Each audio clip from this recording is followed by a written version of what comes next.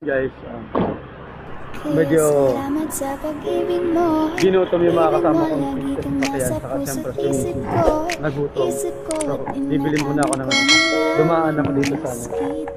Dumaan ako dito sa. Namiss kita So, bili muna ako ng ang baby ko kahit wala Dito lang yan sa Marikina.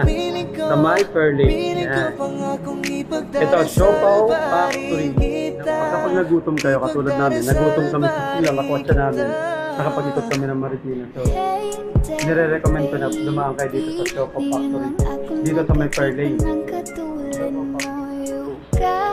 Nakabili na ako. Um, limang pirasong siopaw kasada, special meal. Tapos, um, dalawang soft drink. Ayan, pasyalan nyo ah, Siopaw Factory Marikina. Pag nakita nyo yung lugar na yan, punta kayo dyan, masarap ang siopaw dito. Ayan. Yan yung per lane. Yan. Pagkitanan yan, Shell at saka petrol. Ayun, highway na kami. So habang habang bumibiyahe, so dumaan nga kami dito sa Siopaw Factory dito. So kain, kain kami. Kain, kain kami kaya. Ano muna, medyo Kung mag-iagap dahil kung mag-asawa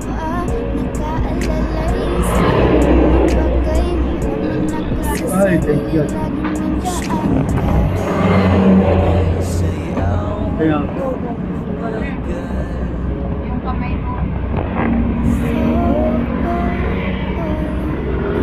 Yan.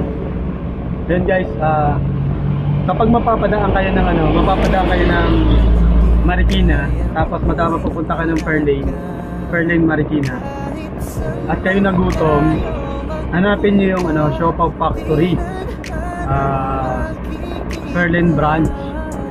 The best ang ano doon ng Siopaw. The best ng lasa, the best na sa sarap. Uh, yung siopaw na binili namin, kahit special na siya, 15 pesos lang. Yan. Hmm. Sarap.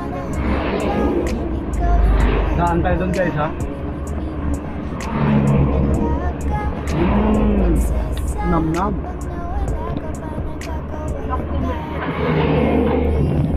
Well, top, meron ka na dyan, Tan. Lagyan, pakilagyan nga to. Siyempre, kumakain, habang kumakain, nagdadrive ako. Hindi ako pwede maglagay ng sauce. So, dap, so dapat meron ako talagang lagay. yeah. Ang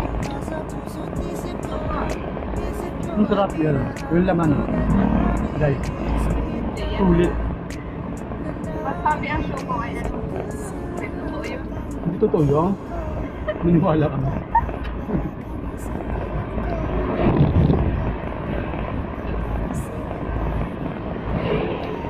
Sarap. Mawawala, ta- mawawala talaga yung ano, mawawala yung gutom mo. Lumubusog ka. Mm. mm. Tumutulo pa ha, yung sauce ha. Mmm. Sabot ng dila ko yata.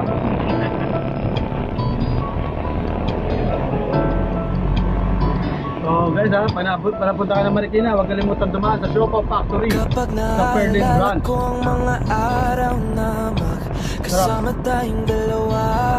Hindi ito sa aking mga mata kasi- Ganun kasi na pala tayo dati kasiyahan Tipong kapag tayo nakatitigan Mangingitian para bang nahihibang Ano ba? Mangingay kahit sobrang tahimik ang kapaligiran Kahit may nagre-reklamo na wala sir. pakialam Libre yung ano libre yung commercial na ginawa ko eh. Commercial ko na sila. Binili- bumili pa ako. na Kaso lang wala ka na Pero alam ko na masaya ka na. Sa mundo ko wala nang makakagawa. Makakatumbas ng iyong naparatama Muro na, nakarap pa ako ng tayo wala ka. Pag-ibig mo, lagi kang nasa puso, isip ko. Siyempre, una-una to. Isip ko at inaamin ko na namin. Kasi alam mo natin kung magkano presyohan. Na namin, miss kita sa kinig ko. Alam, din ang baby ko. Ang baby ko, kahit wala ka na sa feeling ko. Piling ko kung ako magkadasal pa rin kita. Kung magkano presyohan ng tropa. Sa mga sales, sa sa mga ano, retailer medyo mataas. ah. Kaya kung doon ka bibili talaga sa mga nakakamura. Abang ako sa labas ng bahay nyo Sipat ng sipat kung sisilip ka ba Sa bintana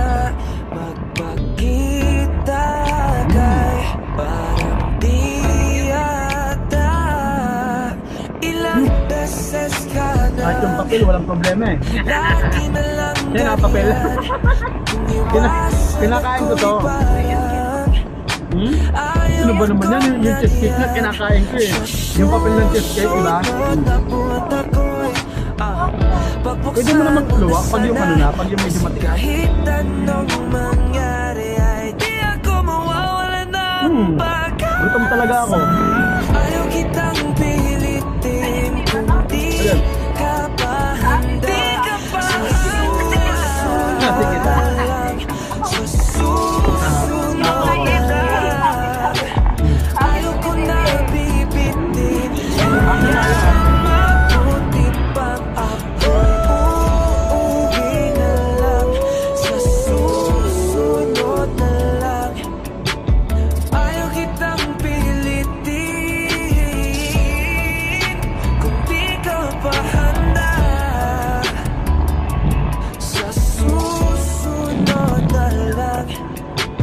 So, talagang ano. Ikaw pa rin ang baby ko Sa susunod na na lang. lang Tingin ako ng ano, tingin tingin ako ng drink. drink.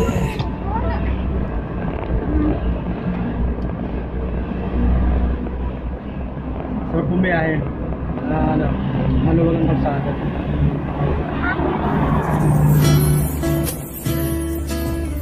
Ako talaga talaga, ako talaga talaga ubod eh.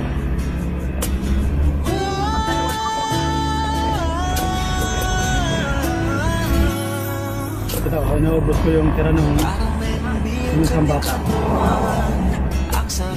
Malapit ako sa bahay. Sasakay Siguro mga Parang merengue ang kanyang lang. Ang sarap mong Tulog yung BBMT namin. Ka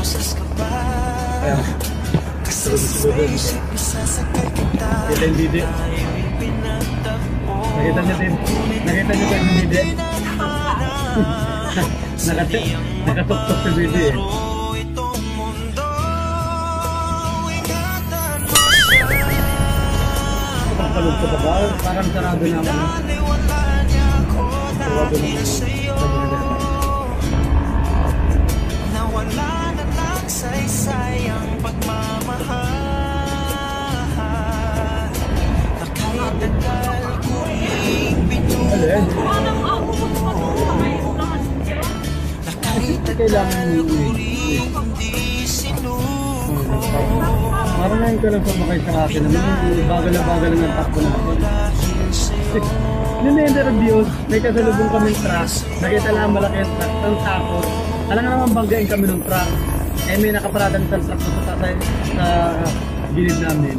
Siyempre kailangan ko overtakean yung truck. Eh siyempre yung driver naman, alam niya na pa-overtake ako. Yung kasalubong ko, titigil yung mag-minute yun. Para hindi lang niya ako salita. Ganun lang yun eh. Instinct ng driver yun. Hindi, ganun talaga kapag ikaw ang pasahero. Madalas ikaw yung natatakot. Baka Ako, ganun din eh. Kapag ako yung hindi, kapag hindi ako ang driver, pinapagalitan ko yung driver. Hindi mo ganyan! Ano ba? Hindi mo naman driver, pag-driver ako! Hindi naman ganun.